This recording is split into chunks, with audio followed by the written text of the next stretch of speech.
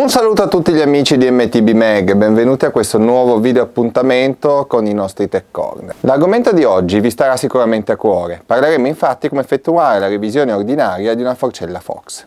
La procedura che vedremo è valida sia sulle forcelle Fox che generalmente su quasi tutte le eh, forcelle, quindi anche su RockShox, Marzocchi, eh, Magura, Formula, anche perché la procedura di revisione ordinaria prevede semplicemente la rimozione dei foderi, questa parte qua della forcella, la parte inferiore, la pulizia interna delle varie parti, l'eventuale sostituzione dei raschiapolvere e l'inserimento di olio nuovo.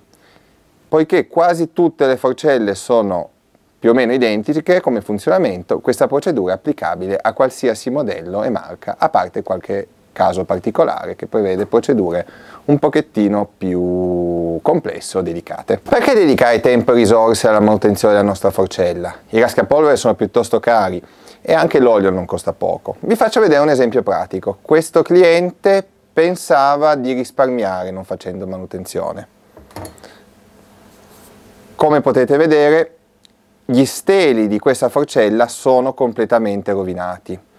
Qui in particolare l'abrasione è nella parte bassa, quindi non è neanche visibile dall'esterno, ma se giriamo questi, eh, gli steli di questa forcella, vediamo che già nella parte alta il danno era praticamente evidente. Che cosa è successo? Scarsa manutenzione, raschi a polvere rovinati, l'olio di lubrificazione contenuto nei foderi è stato progressivamente espulso, il raschiapolvere vecchio non ha protetto in maniera adeguata l'ingresso della polvere all'interno del fodero e all'interno si è creata una pappetta di eh, sabbia, polvere e olio, praticamente un mix abrasivo che ha completamente rovinato gli steli. Questa forcella, che è una Fox 32 Talas, è praticamente da buttare. Che cosa ci serve per questo lavoro? Allora, innanzitutto ci serve l'olio, l'olio di lubrificazione dei foderi. In questo caso, essendo la forcella Fox, utilizziamo un olio 20 eh, di tipo Gold. Ci serve poi del grasso per sospensioni, mi raccomando un grasso specifico per sospensioni, non utilizzate grassi a base di litio che rovinano la gomma. Abbiamo poi bisogno dei rascapolvere nuovi, vi consiglio l'utilizzo degli SKF, funzionano davvero molto molto bene. Ci serve una siringa per dosare l'olio e iniettarlo all'interno dei foderi, un cacciagomme di metallo per togliere via i vecchi raschiapolvere, lo strumento per inserire i nuovi raschiapolvere, non è altro che una guida che ci permette di pressarli all'interno del, eh, della loro sede nei foderi, una chiave a cricchetto e nel caso di questa forcella ci serviranno una chiave esagonale da 13, una da 10. Alcune forcelle Fox, avendo poco spazio a disposizione, richiedono una chiave più fine. In questo caso abbiamo una chiave a L neanche di qualità eccelsa, però molto fine che ci permette di svitare i dadini anche sulle forcelle con i piedini piuttosto sporgenti. Per la pulizia utilizzeremo alcol isopropilico. Alcol isopropilico è un alcol che non eh, lascia nessun residuo, è un potentissimo sgrassatore ma non ha coloranti, quindi non lascia nessun residuo fisso una volta effettuata l'operazione di pulizia. Utilizziamo poi sempre un paio di guanti protettivi, in nitrile il lattice si scioglie con il, gli oli delle sospensioni e non dimentichiamoci poi del migliore amico del meccanico, un bel martello con, eh, in plastica per spiantare i foderi. Il primo passaggio da non trascurare è la pulizia della forcella. La forcella deve essere perfettamente pulita e priva di polvere o sporco. Eventuali residui di fango, soprattutto nella zona dei raschiapolvere, potrebbero infatti cadere all'interno dei foderi, causando una contaminazione dell'olio nuovo che andremo poi ad inserire. La forcella su cui lavoreremo è stata già revisionata, ve lo dico perché è una forcella già finita, quindi troveremo al suo interno dell'olio pulito ed è stata naturalmente già pulita in precedenza per poter effettuare la revisione. Rimuovere l'aria dalla nostra forcella non è fondamentale per poter eh, togliere i foderi, è tuttavia un, un passaggio che consigliamo soprattutto a chi ha le prime armi eh, per la sicurezza. Svitiamo il tappo.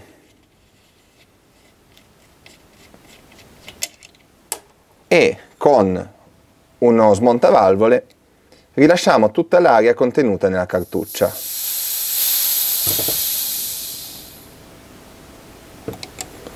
sempre con lo smontavalvole, possiamo togliere il core della valvola. A questo punto siamo sicuri che qualsiasi cosa facciamo alla nostra forcella, questa non, è, non esploderà e non ci causerà rischio di lesioni o di farci male. Nella parte inferiore della forcella ci sono due bulloni. Il primo, quello del lato aria, è subito evidente, è un bullone da 10 mm. Il secondo, quello dell'idraulica, è nascosto all'interno del cappuccio di protezione. Rimuoviamo il cappuccio di protezione per accedere al registro del ritorno. Con una chiave da 2 mm svitiamo e rimuoviamo il pomello che regola il ritorno, c'è un piccolo granetto che lo tiene fissato sull'alberino, lo sfiliamo, notiamo l'alberino con la sede per il grano e liberiamo quindi i due bulloni che possono essere facilmente svitati eh, con, le con le opportune chiavi. Con la chiave da 10 mm allentiamo la prima vite, quella del lato eh, aria.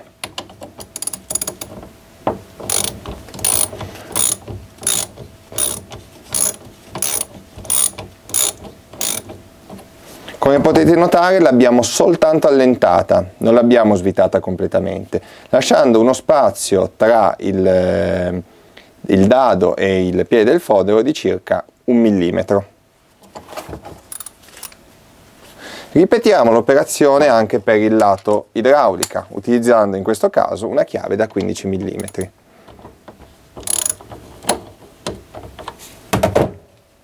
Possiamo anche girare a mano. Come potete vedere lasciamo sempre un piccolo gap, nel video è un po' difficile da mostrare ma proviamo a farvelo vedere in, in laterale, lasciamo un piccolo gap di circa un millimetro che ci servirà per sbloccare successivamente i foderi. Allentati i dadi e lasciato un gap di alcuni millimetri, accertiamoci che il dado prenda per almeno 2-3 spire di filetto. A questo punto utilizzando la chiave apposita, in questo caso la chiave da 10 come eh, percussore, con il nostro martello in plastica e un paio di colpi ben assestati sblocchiamo le aste dai piedi dei foderi. Questa operazione in genere non richiede tanta forza, tuttavia se la nostra forcella è stata serrata un po' più del dovuto un bel colpettino assestato può essere necessario per sbloccare il tutto. Ripetiamo l'operazione dal lato idraulica ed abbiamo praticamente sbloccato i foderi. Sbloccati quindi i foderi e rimosse due, i due dadi di bloccaggio delle astine, possiamo quindi far colare l'olio. Posizioniamo la forcella su un gancio e sfiliamo i foderi. Come potete vedere, dalla parte inferiore dei foderi colerà l'olio vecchio. In questo caso l'olio è pulito, perché come detto abbiamo, avevamo appena revisionato la nostra forcella, ma se la nostra forcella ha un certo utilizzo troveremo all'interno dell'olio sicuramente particelle di sporco, residui di polvere e l'olio avrà un colore tendenzialmente nero. Possiamo anche per velocizzare il processo rimuovere completamente i foderi dalla forcella voilà e possiamo lasciar colare il tutto per alcuni minuti fino a che non, la maggior parte dell'olio non sarà eh, colata nella nostra vasca di raccolta dell'olio.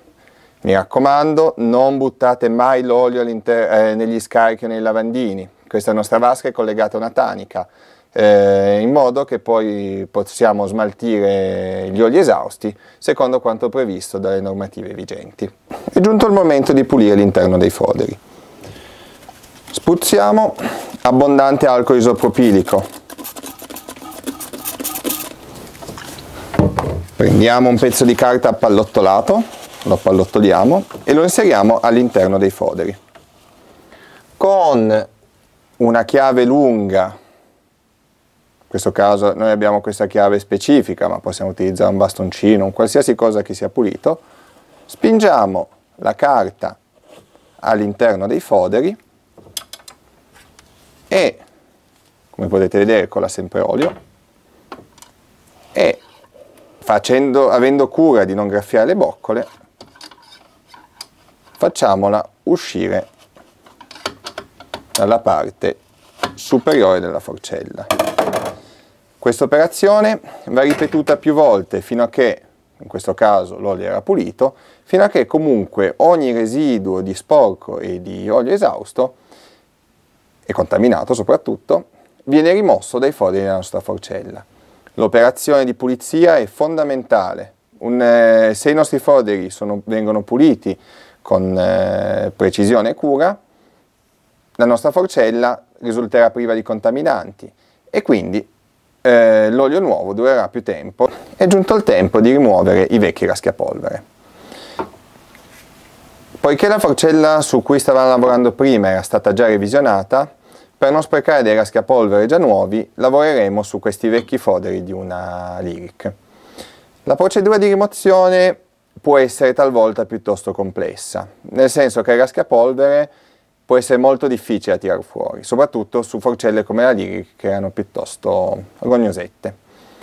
Lo strumento migliore per togliere il vecchio raschiapolvere è un cacciagomme in ferro. Come funziona? Prendiamo saldamente la forcella, inseriamo il nostro cacciagomme al di sotto del vecchio raschiapolvere e con un movimento deciso andiamo a tirare verso l'alto un lembo del raschiapolvere. Come potete vedere il raschiapolvere si piega e la mollettina si danneggia. Ecco il motivo per cui non abbiamo fatto questo lavoro sui raschiapolvere precedentemente installati. Se incontriamo difficoltà, come in questo caso, dobbiamo lavorare su più punti. Tendenzialmente lavoriamo sempre sulla su circa metà del eh, nostro raschiapolvere. Una volta che questo si è sbloccato, come possiamo vedere, viene fuori piuttosto facilmente. Questo raschiapolvere è bello sporco.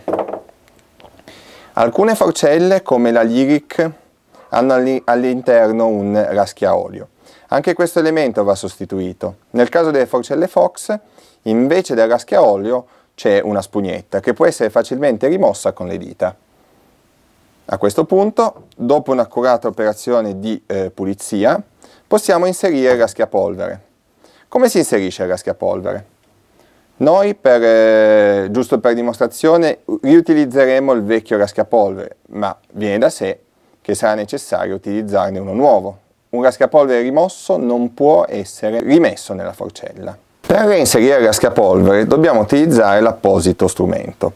Questo strumento serve proprio a pressare il raschiapolvere nella sua sede ed inserirlo correttamente. Come funziona? Allora, innanzitutto, soprattutto sugli SKF e sui 36, è meglio rimuovere la mollettina. Inseriamo il raschiapolvere nel nostro strumento. Come potete vedere lo strumento appoggia sulla parte esterna del raschiapolvere, non su quella interna. Inseriamo lo strumento sulla forcella e con una bella spinta il nostro raschiapolvere entra in posizione. Una nota per qua, eh, quando si installa nei raschiapolvere di tipo SKF. Possono essere molto duri da inserire. Io personalmente mi trovo molto bene ad utilizzare un martello un martellino in plastica, alcuni colpi ben piazzati permettono di inserire il raschiapolvere con eh, maggior facilità. Prestate molta attenzione ai raschiapolvere non flangiati. Questo raschiapolvere è flangiato, quindi può essere spinto fino in fondo senza alcun problema. I raschiapolvere non flangiati, in particolare i, le versioni più nuove, quindi nel caso degli SKF i 36 FN o i 32 FN, non hanno la flangia, quindi teoricamente possono andare più giù del dovuto. Prestiamo sempre attenzione che il raschiapolvere risulti sempre a filo del, della parte superiore del foderi della nostra forcella, perché se si formasse uno scalino, questo scalino sarebbe sede, eh, potrebbe far accumulare sporco, Inoltre non rimarrebbe lo spazio sufficiente per poter inserire correttamente la spugnetta al di sotto del raschiapolvere e questo potrebbe causare un eh, eccessivo attrito all'interno della nostra forcella. Se la nostra forcella è dotata di spugnette, queste vanno intrise nell'olio prima di poter essere installate. In questo caso l'abbiamo lasciata a bagno nell'olio per alcuni minuti e possiamo quindi inserirla al di sotto del raschiapolvere.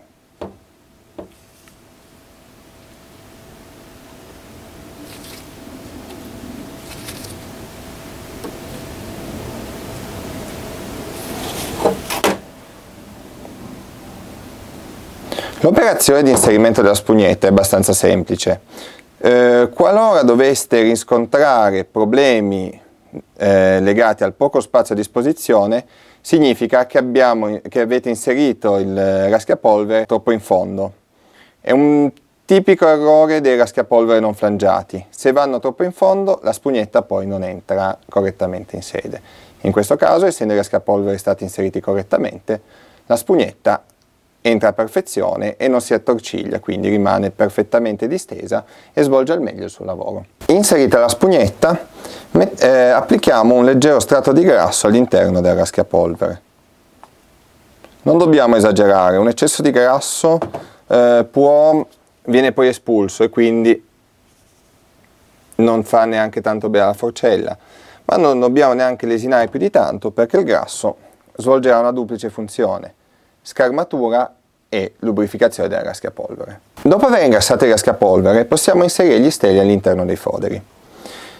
Prima di procedere verifichiamo soltanto che l'asta della parte aria sia completamente estesa. Se ciò non si verificasse inseriamo un pochettino di aria all'interno della, della camera pneumatica dopo aver rimontato la valvola. Allo stesso modo anche l'asta dell'idraulica deve essere completamente estesa. Se l'asta rimane accorciata, non riusciremo poi ad avvitare il dado di chiusura e quindi dovremo riaprire successivamente la forcella. Quindi aste completamente distese, in questo caso vedete che si allunga più della parte aria perché la forcella è in grado di ospitare anche una corsa maggiore. Aste completamente stese e possiamo procedere all'inserimento degli steli nei foderi.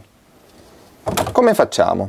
Allora, l'inserimento può essere un pochettino difficoltoso il problema è che il raschiapolvere è piuttosto stretto e tende a piegarsi se non imbocchiamo correttamente lo stelo. Prestiamo particolare attenzione, facciamo dei piccoli movimenti circolari, inseriamo prima uno stelo e successivamente l'altro, sempre avendo cura di non danneggiare il raschiapolvere, visto? Questo punto è entrato. Una volta imboccato il raschiapolvere, lo stelo scivola facilmente all'interno del fodero fino a battuta. Come capire quando è battuta? Semplice, come possiamo vedere sono fuoriusciti la parte inferiore delle due aste, quelle su cui poi va ad innestarsi la vite di fissaggio. A questo punto dobbiamo inserire l'olio. Quindi sfiliamo le aste leggermente e attraverso questi due piccoli buchini possiamo iniettare con la nostra siringa il quantitativo d'olio corretto per la nostra forcella. Come determinare il corretto quantitativo d'olio? Ogni forcella, soprattutto le Fox, hanno un codice. Tramite questo codice è possibile risalire con eh, estrema precisione al modello e alla versione della nostra forcella. Andando sul sito di Fox, in questo caso, potremo eh, vedere le tabelle degli oli e vedere quanto olio inserire all'interno della nostra forcella. Nel caso di questa forcella, eh, che è del 2015, il quantitativo d'olio da inserire sarà di 10 cc all'interno della parte aria e 30 cc all'interno della parte eh, idraulica. Con la nostra siringa graduata aspiriamo quindi 10 cc di olio 20 VT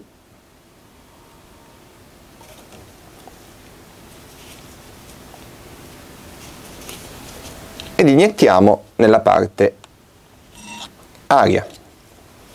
Aspiriamo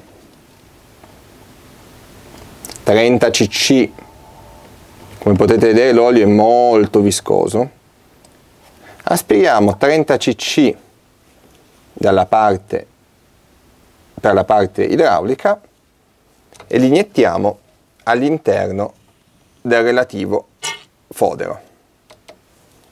Questo punto l'inserimento dell'olio è finito, spingiamo gli steli verso il basso in modo da far fuoriuscire i eh, piedi delle, delle, aste e potremo quindi procedere con eh, il serraggio e con la chiusura con gli appositi dadi. All'interno dei dadi di chiusura è presente una rondellina in plastica.